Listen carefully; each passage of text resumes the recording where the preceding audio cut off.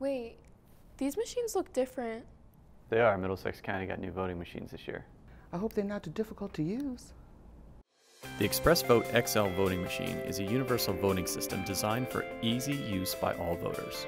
It utilizes touchscreen voting, can be viewed in your chosen language, and is fully ADA compliant. Here's how it works. First, you will receive a voting authority slip and a ballot card. Insert the ballot card into the machine on the lower right hand side, with the notch positioned in the upper right hand corner. The ballot card activates the machine and serves as your verified paper audit trail. Press the Start Voting button. If you prefer to see it in Spanish or Gujarati, touch here.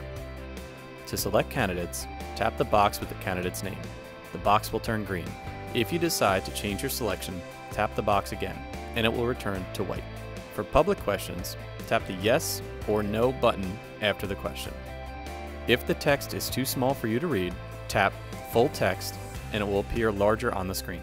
To write in a candidate, tap the button in the personal choice column for any contest you wish to cast a write in vote for. Type in the candidate's name.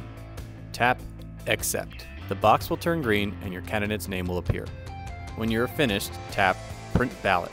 Your selections will print down on the ballot card, which will appear behind the window on the right.